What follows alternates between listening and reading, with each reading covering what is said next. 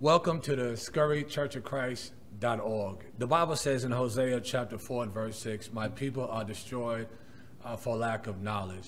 Please don't let this happen to you.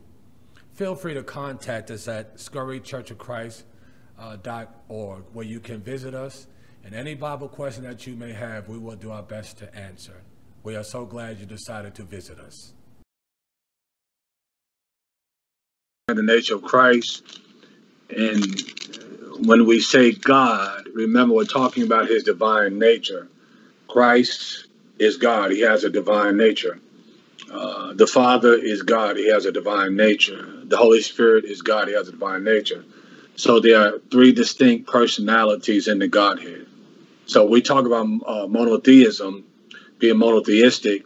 Uh, we believe in one God, uh, but remember, what is that God?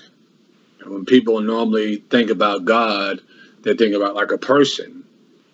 And, and we talk about the uh, the Pentecostal, and we're learning from uh, their thoughts uh, that they believe that they don't believe there are three distinct personalities. There's one personality, which is Jesus. And so remember, Jesus is the Father in heaven. That's Him. Uh, when uh, he came to earth, he became the Son, Jesus. When he left and came back, he became the Holy Spirit. And so they don't believe in three distinct personalities. They believe there is one. That is not the God of the Bible. And we don't believe in three gods. We're not saying that. There's only one God.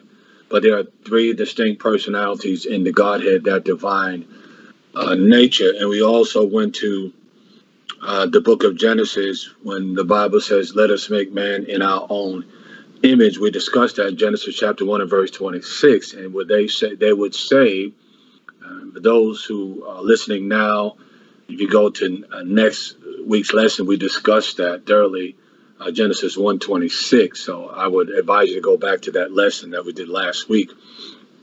But what they say that, remember, they're saying now, when he said, let us make man, and that, of course, they believe that is Jesus talking. There's one personality, distinct personality God in the Godhead, and that image is the angelic uh, image. And so we looked at the book of Job, and we saw that the angels were there. I believe it's Job 38. The angels were there at the foundation. They were praising and singing at the foundation. Uh, but the angels are not divine. So you remember they don't have a divine nature. There is there's a divine nature, there's a human nature, there's the angelic nature, like animals have their own nature. There's only one divine nature. And so we talked about that when he said, Let us make man our own image image, he was giving man uh, that rule, that authority. He gave man that authority. Remember, the angels were there, but he gave it to man. And we proved uh, last week that uh, let us make man in our own image is not the angelic image. We saw that last week. We looked at that thoroughly. I don't want to stay too long on that tonight. Again, I, I would advise you to go back to last week lessons. We talked about that. I think we discussed that. I think we did well at that. We looked at Hebrews chapter, the book of Hebrews, uh, book of Philippians, and we saw that there's a difference between the uh, the angelic nature and the human nature man was made a little lower than the angels. So there's a there's a distinction there. It's not the same. So therefore, if we look at that, if we do away with that uh, conclusion that that's not the image of humans, that's not the image of an angelic image. So that let us make man our own image goes back to the deity. We looked at that. Us is plural. Let us make man in our own image. So somebody's talking to someone else. Somebody's talking to someone else. You see, let us. So somebody's talking to someone else. And you know, it, it's remember what I said that as we get to the to the old to new covenant, we know that there are three distinct personalities. As we see, let us, let us. We we know there's more than one, but how many?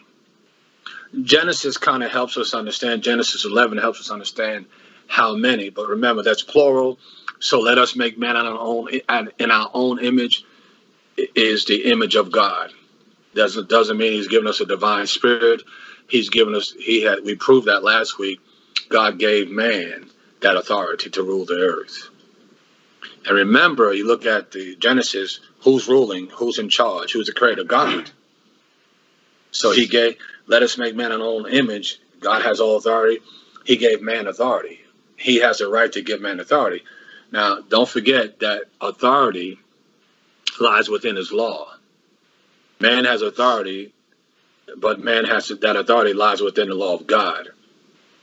You, you can't just go away from the law of God. And then you see that introduction in the book of Genesis. He gave Adam authority. But when Adam uh, broke the law, see, he was punished. So remember that authority still has to consist of being obedient to law of God.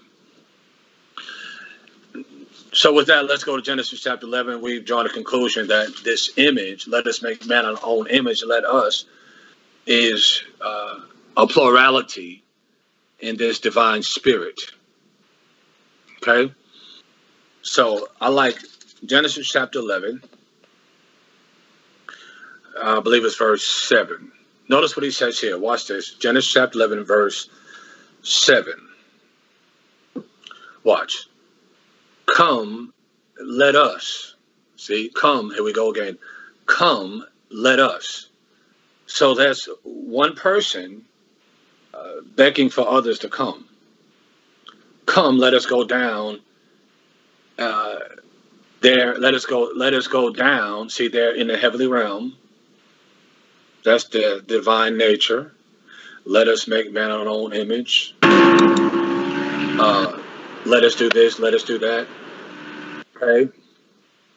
So now you see that uh, divine nature. He's saying, "Come." He's beckoning those. Let us go down. See, that's plural. And there, let us go down. Where? Let us go to the earth and confuse their language that they may not understand one another's speech.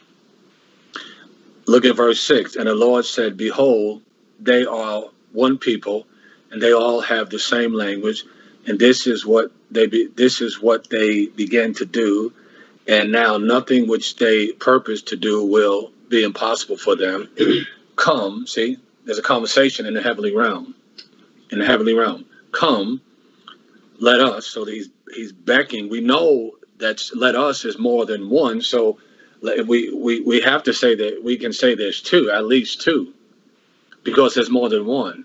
So there's one talking, he's backing the others to come, and he's saying, let us, that the us is plural, so that means there's more than one, so it has to be two. And where we're going, let's go down, implies they're in the heavenly realm, which is the divine nature. And we saw the order uh, as we looked at Christ in the creation, remember, we look, we're not going back to that. Genesis chapter one, we saw it in the verse one, that's the Father. Uh, Genesis, uh, I think it's verse two, the Spirit of the Lord moved upon the face of the earth, that's the Holy Spirit. Uh, according to John 1 1, uh, John 1 14, uh, God came in the flesh. The Word was God, and the Word was with God. And, and so you see, uh, and God said, that's Christ according to First Corinthians chapter 8 and verse 6. We see in Hebrews chapter 1 and verse 10. Uh, in the book of Colossians chapter 2, we see Christ uh, created all things, and it talks about the Father created all things through the Son. And the Holy Spirit was that source of power that made it happen. That was the order that they were in. God designed it that way. So remember that I want you to, I'm, I'm going to emphasize this again, and I want to say this uh, that Christ never gave up his divine nature. That's important as we get to, if we, whenever we get to that, that some people, like I think Jehovah Witness, think he was a created being, an angelic being. Uh, and then the Islam think he was just another prophet. So we have to understand that no, that's not true. He uh, is eternal, has always been eternal. He was not created. So we see that that's implied. I want you to say that I want you to get this again. Let us go down. That's one person beckoning uh, to at least two people to come. Remember, us is plural. So he's beckoning for not one, so that's one, two, three. So that's already before we get to new covenant, we see there has to be more than one, which is implying two. In uh, Genesis three twenty two, Genesis three twenty two, um, then the Lord said, "Behold, the man has become like one of us." Okay, that's plural again, one of us. Okay knowing good and evil, now lest he stretch out his hand and take also from the tree of life and eat and live forever. Then the Lord God sent him out from the Garden of Eden to cultivate the ground which he was taken. So you see that. Uh, then the Lord God said, Behold, the man has become like one of us, what, knowing good and evil. Of course, God knowing good and evil, that's he knows all things, omniscient. And at that time, Adam and Eve only knew about good. See, they, they never experienced evil or sin until they ate from the tree that they were told not to eat from. And so God removes them from the tree of life. That as long as they could eat from that tree, as long as they were able to eat from that tree, they could live forever. So if you notice, we're not going to get into that. When he when he purged them out of garden, he separated from the tree. Eventually, they died. Very interesting. So that's us is plural. So remember that. Now I know, watch this. I want turn to Deuteronomy 6 4. Deuteronomy 6 4. And then I'm going to look at read a few scriptures. Deuteronomy 6 4. And then we're going to go to Galatians 3:22. Now watch this. Deuteronomy 6 4. Deuteronomy 6 4. Hear, O Lord, the Lord our God, the Lord is one, right? That's true. So the Bible says, Hear, O Israel, the Lord our God, the Lord is one. See? Now look at Galatians uh, 6 2. I'm sorry, Galatians chapter 3, verse 20. Galatians 3, verse 20, I believe it is. Galatians 3, verse 20. I'm going to give you time to get there. Galatians 3, verse 20. Now, a mediator is not for one uh, party only, whereas God is only one. There are passages that say that. So you see the old covenant and the new covenant say he is one. That's true. That's true. But we have to get into what does that one mean? So you just don't look at that and say, well, there's only one. Okay, what does that mean? Remember, you know, God is one, that divine, yeah, he is. That's God is God is that divine. God is divine. He's deity. That's God. But there are three three distinct personality which make up the one. Personalities that make up the one. And it's very interesting. Like I said, when you get in, I said this before at one time. When you get into these, uh, the Zeus and the Hercules, you know, these uh, false gods that are portrayed in movies, etc., in books. And it's very interesting that you, you you see these are false gods, and you see how they they go against one another. There's some problems, there's issues, there's there's a little separation. They they kind of fight one another, have disagreements. That's fiction, see, because we know that those are false gods. Because the God of heaven, they're they're so unified. There's no there's no problems. There's no issue. There's no separation. That it's just an impeccable unity. They don't fuss. They don't fight it's just a, it's a godly uh, part of his his deity, attributes of his deity. He's holy, and that that unity is just uh, perfection. That's who he is. There's no separation in the Godhead. Now, watch. So let's continue to deal with this. So remember when I said the, there are other passages when so when you see where it says God is one, remember uh, what does that mean? What does that mean? that's what you have to be able to deal with. What does that mean? That means that yeah, the nature of God, that God is divine. Remember, we looked at the Godhead in Romans chapter, I think it's Romans chapter 1 and verse 20, uh, Colossians chapter 2 and verse 9, and I believe it's Acts chapter 17 and verse 26. So if I'm wrong, someone correct me later. But those say the, you know, in the King James, it says the Godhead. In the New American Standard Version, it says divine nature. That's what it is. So that's what God, Christ never gave up his divine nature. Christ was God. He still is God. He gave up some things because remember in John 17, as we discussed, he's asking God to give him back what he had from the beginning, and God did give him those things back, but he never gave up his divine nature. He gave up his role. He became man. So he so remember he is God. Holy Spirit is God, um, and the Father is God. And I mentioned monotheistic. That's when people say there's one. We say there's one God uh, versus I think it's called polytheism or being polytheistic. That's more than one God. So we're still saying one God. It's just that there are three distinct personalities in this godly nature that makes them divine. Now let, let's let's dig further into this. Go to Psalms chapter two. We're going to deal with this tonight. Psalms chapter two. Psalms chapter two. Psalms chapter two is messianic. When I say messianic, um, it's prophetic of Christ the Messiah.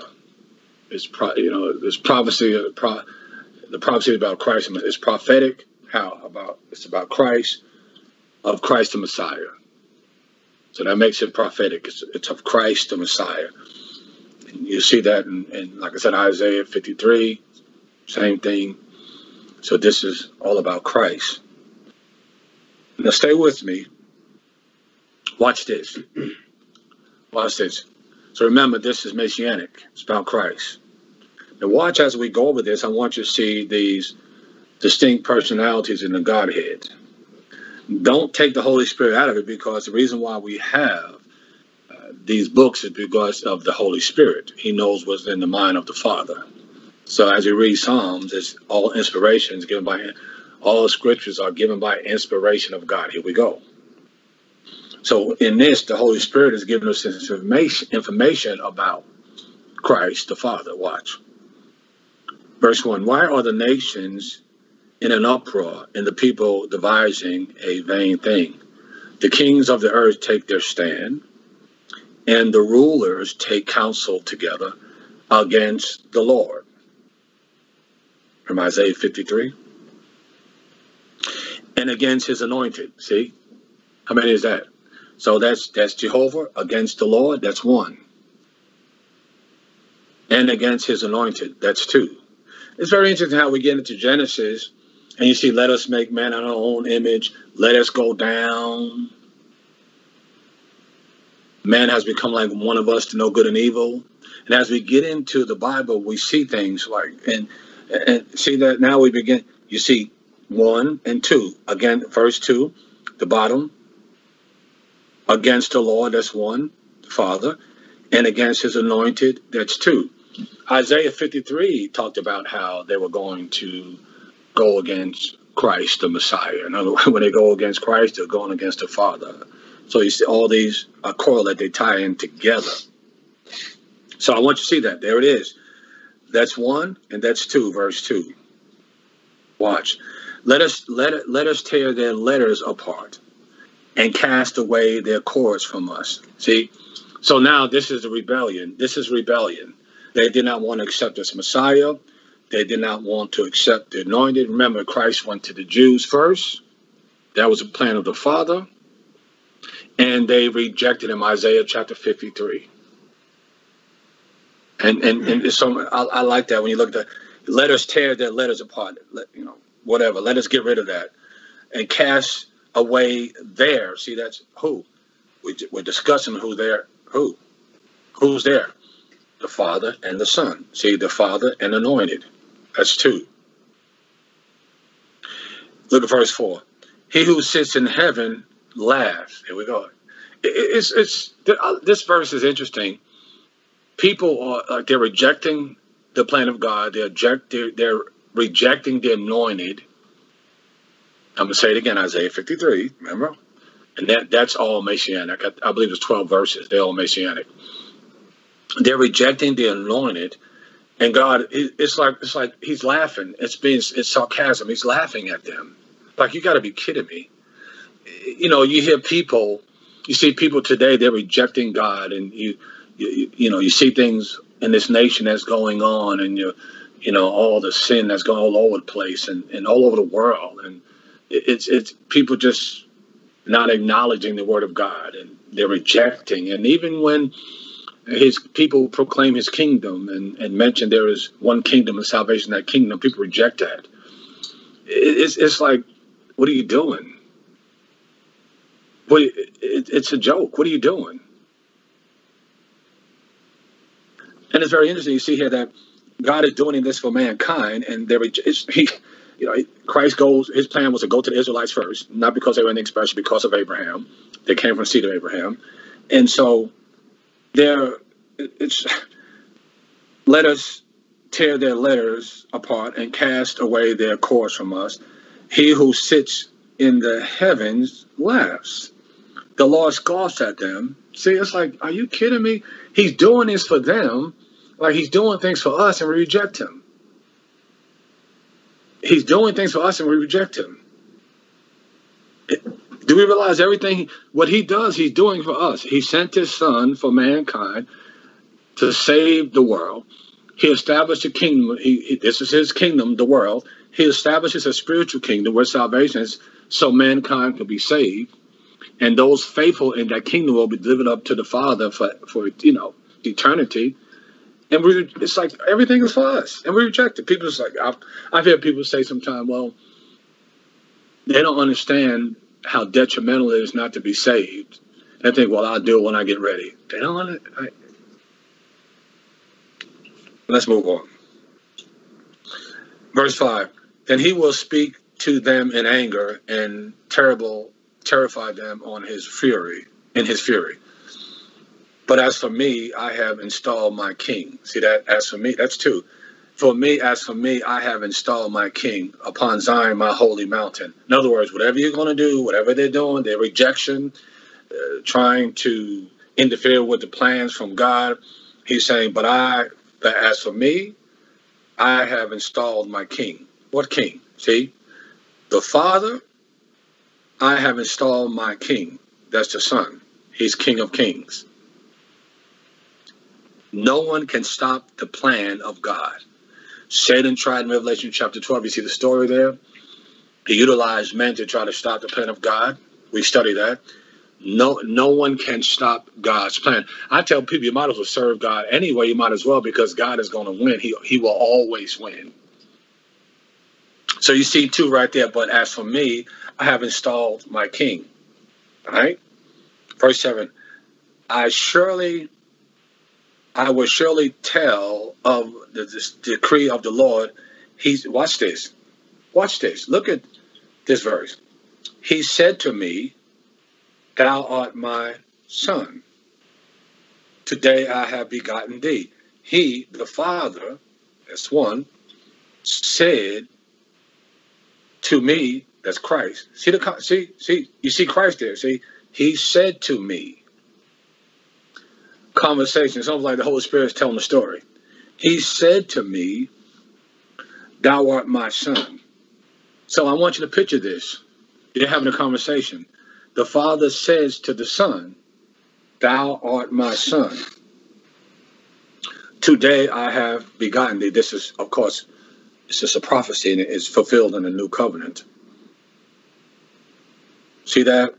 Ask of me, and I will surely give the nations as thine inheritance. Ask of me. See the conversation? The Father, that's the Father. Ask of me, that's the Father, and I will surely give uh, nations as thine, that's the Son. There we go again. I love it. Watch this, though. Let's go a little further. Let's go back in verse 7. Let's go back to verse 7. I will surely tell of the decree of the Lord. He said to me, Thou art my son, today I have begotten thee. Now let's go to, hold your spot there. We're going back to uh, we're coming back here, but go to Luke chapter 1, verse 30. Luke chapter 1 and verse 30.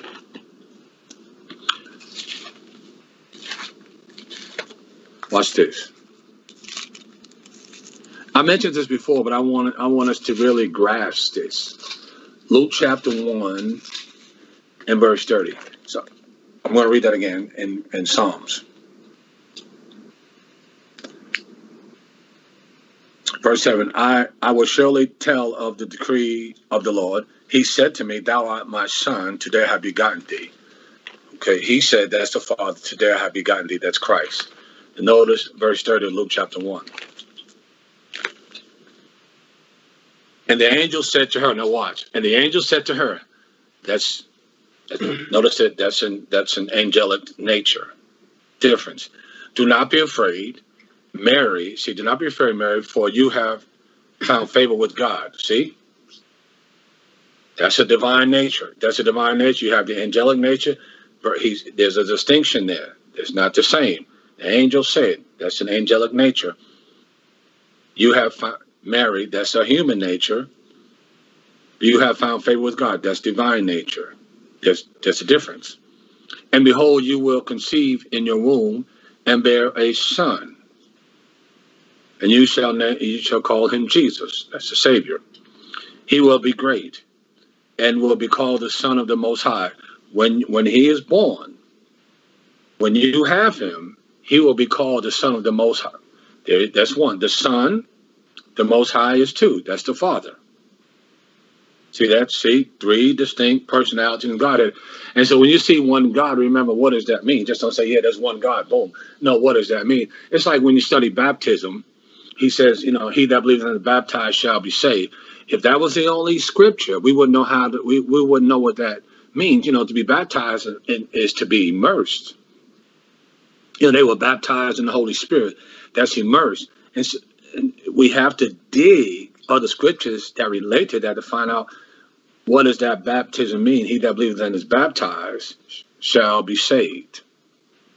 He that believes not shall be condemned. And so we go to Acts chapter 8. We go to uh, Acts chapter 2 and verse 38. We go to several passages.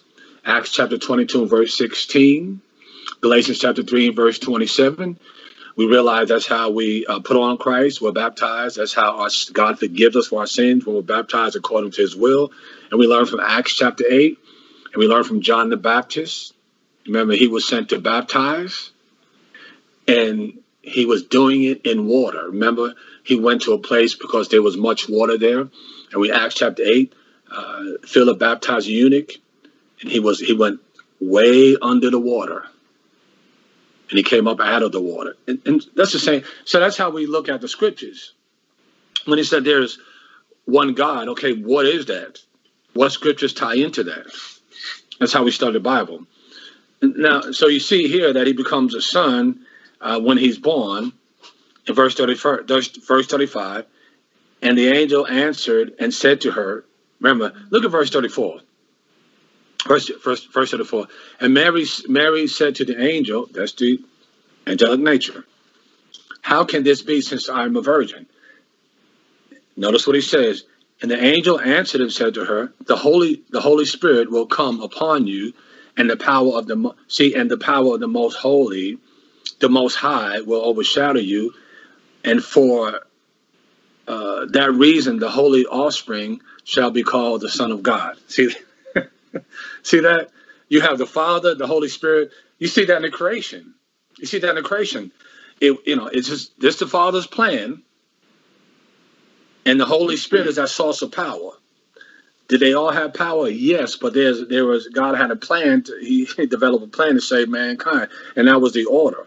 But notice to God, notice the Holy Spirit will come upon you, and the power of the Most High will overshadow you, and for that reason, the holy offspring shall be called the Son of God. Why is he called the Son of God? Because he has divine nature. And I'm inclined to believe, remember I said that you see those in Psalms, you'll see he's called the Son, the Son. That's that's looking for that's looking towards the future. And the, the new covenant fulfills what the old covenant said. But he became the son in the in the uh, new covenant when he lowered himself See, he took on a different role. But he, if you catch this verse, watch it again. Verse 35. And the angel answered and said to her, The Holy Spirit, see, one, will come upon you, the power of the Most High, two, will overshadow you. And for that, for that reason, the holy offspring 3, that's Christ, shall be called the Son of God. In other words, he's going to have divine nature right from the beginning. So remember we talked about that, Colossians chapter 2 and verse 9, John chapter 1 and verse 14. I'm going to go there quickly that I'm going to get out. John 1 and verse 14. See, he has a divine nature right from the beginning. And it was done miraculously. She never uh, can, did what married people do, and here she has a child. It's Emmanuel, God with us. See 114, remember that? John 114. Let me go there. Uh, and the word became flesh and dwelt among us, and we beheld the glory, glory of the only begotten from the Father, full of grace and truth, begotten from the Father. See, the word became flesh. That's and we see that Colossians chapter 2 and verse 9. Gotta go there for me real quick. Colossians 2 and verse 9.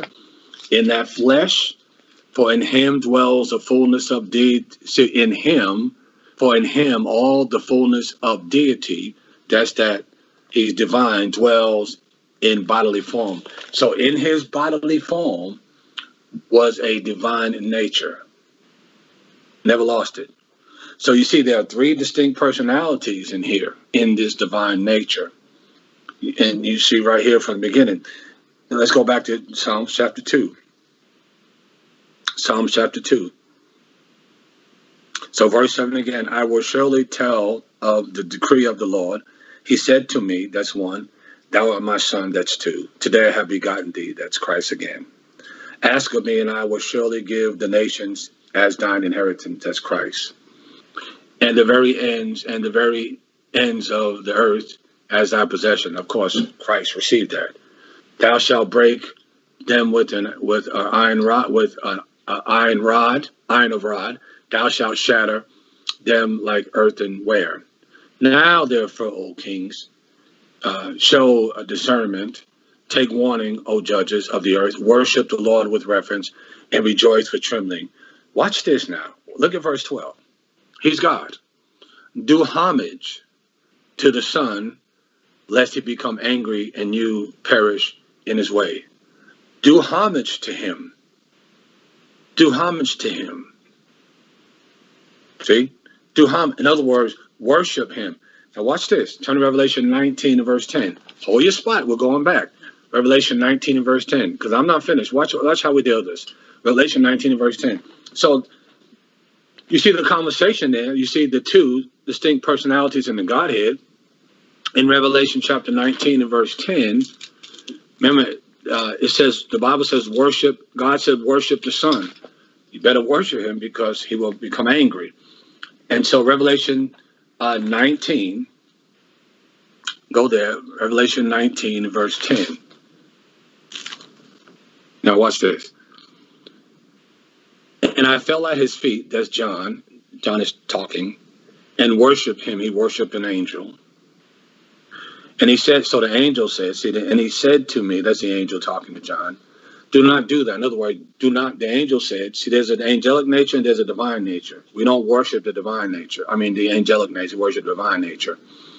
And he said to me, do not do that. I am a fellow servant of yours as you, brethren, as your brethren who hold the testimony of Jesus, worship God. For the testimony of Jesus is a spirit of prophecy.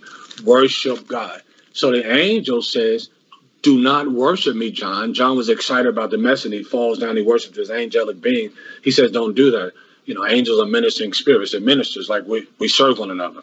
So they serve. He said, Don't do that. In other words, he said, I'm not divine. Worship God. Worship this divine nature. Do not worship me. So worship God only. See, and in chapter, let's go back. So worship. The angel says worship God only. And we see here in verse 12 of Psalms 2, do homage to the Son. So worship the Son, lest he become angry. So why is God saying worship the Son? Because the Son is God.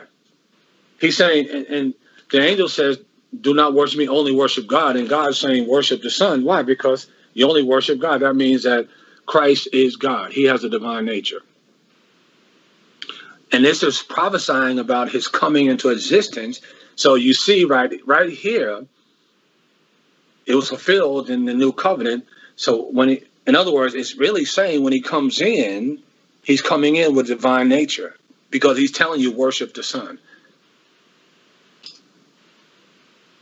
And you know, and we are only supposed to worship God. Therefore, uh, I draw the conclusion, of course, that Christ is God. He has a divine nature. Now watch this. Go back to verse 8. I'm going to read verse 7 and 8 of Psalms 2. I want you, I want you, what I want you to do as we discuss this, I want you to go to Daniel chapter 7 while I'm talking. Let me go there. I already have my marks. I'm going to give you time. Daniel chapter 7. We're going to look at uh, verse 9 through 14. I will run out of time. Daniel chapter 7. Now watch how this tie, watch this. Verse 8, verse 7 and 8 of Psalms 2. Then we'll go to Daniel 7. I will surely tell of the decree of the Lord. He said to me, Thou art my son, today have begotten thee. Ask of me, and I will surely give uh, the nations as thine inheritance. Watch. So the Father saying, Ask of me, and I will give it to you. See, that's two. That's a conversation. Ask me, the Holy Spirit, because the Holy Spirit, we un- because of the Holy Spirit, we understand the conversation. It's almost like somebody telling the story. Somebody's right there. Like if my son and I, Jeremiah, would have a conversation, and all of a sudden uh, Jada tells what we were talking about because she's right there. But this, this is when you see this, this gives me goosebumps. Ask of me, and I will surely give the nations as thine inheritance. So ask me in John 17, I believe it's 1 through 5. He asked the Father, Give me what I had from the beginning.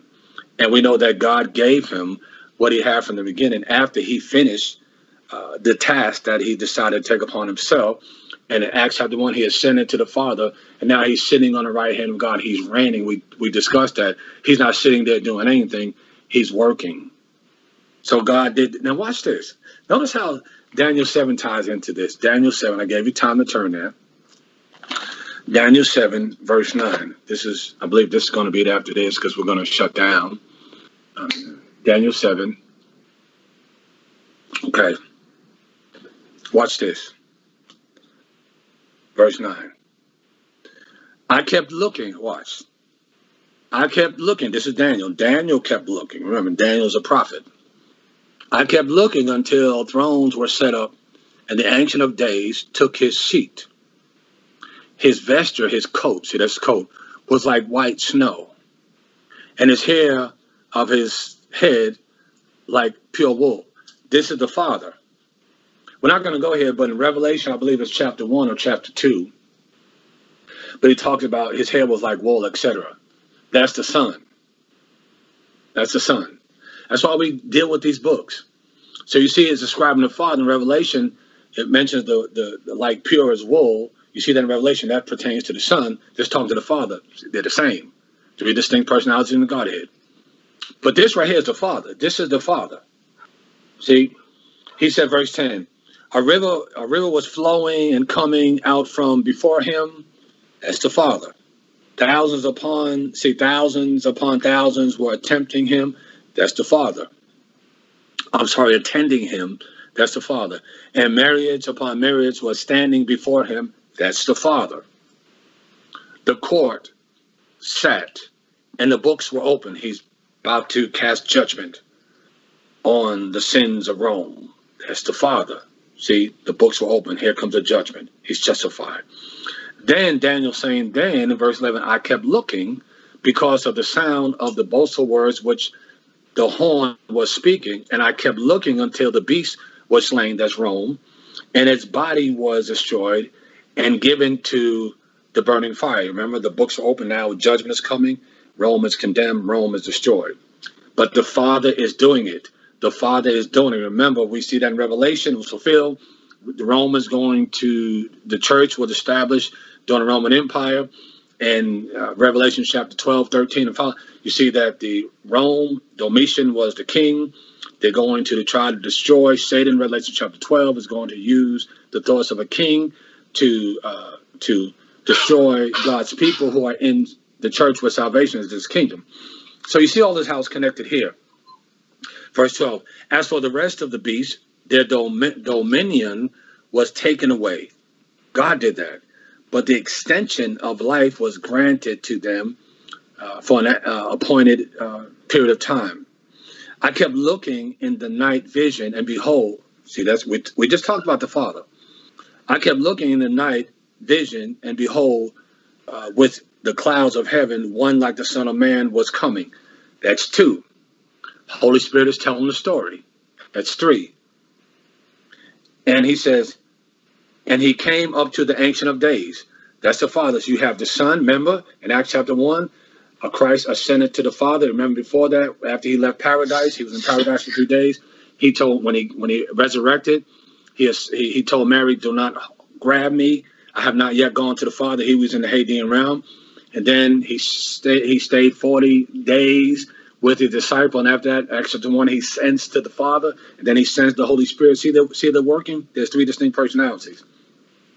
So you see here, there, there you see the connection. You see the Father, and one like the Son of Man was coming, and he came up to the Ancient of Days. So it's the Son going to the Father, and he presented. Now watch this. Remember, Christ is going to receive everything.